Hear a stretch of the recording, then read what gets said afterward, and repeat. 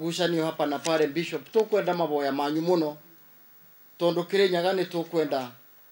I would wish and i would want to call upon all leaders to be accountable.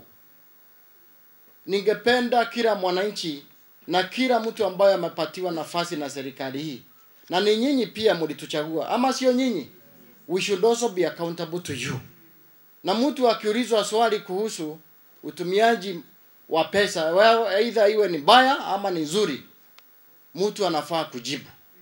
Kama ni mimi mmenipatia kiti muniulize kwa nini pesa imetumika hivi ya hii shule. Why shouldn't i tell you? I think i should be accountable to you because you are the voter. Si ni kweli hiyo? Hapo sio makosa mmefanya kuuliza. Na kama ni wale wamepatiwa hiyo nafasi ya oversight kama MPs wakiuliza maswali wanafaa wajibiwe si ndio hiyo? Na kama ni sisi gavana tunaulizwa maswali na MCAs tunafaa napi nazi tujibu. And I would want to say that we all belong to Kirinyaga and we shall live as Kirinyaga people. Si ni kweli? I would want to hate kusikia kuna ma MCA ambao hawezi fanyiwa kazi because of their political affiliations.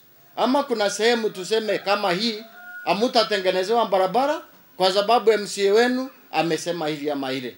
We deserve service equally in the entire county and in the entire country. Hapo ni kuongea vibaya?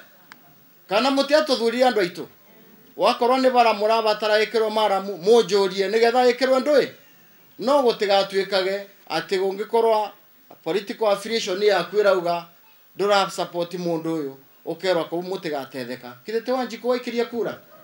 Mukwenda mbeca cianyu imurutire wĩra na mbara ya kirinyaga no njuge tucokanire twarie wega. O mweshimi mheshimiwa Samia kugete andu ni maranirie tunine mbara tubote kurugama no ugute kuga mundu rite indo ciene ndagacokie. Indo cia kirinyaga ico?